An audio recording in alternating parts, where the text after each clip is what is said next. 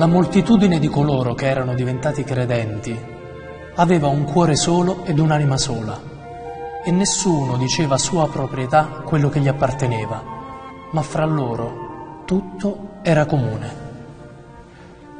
Con grande forza gli apostoli davano testimonianza della risurrezione del Signore Gesù e tutti godevano di grande favore.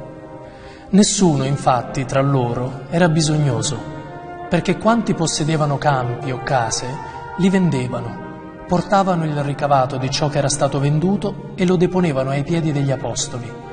Poi veniva distribuito a ciascuno secondo il bisogno. Così Giuseppe, soprannominato dagli apostoli Barnaba, che significa figlio dell'esortazione, un levita originario di Cipro, padrone di un campo, lo vendette e ne consegnò il ricavato deponendolo ai piedi degli apostoli.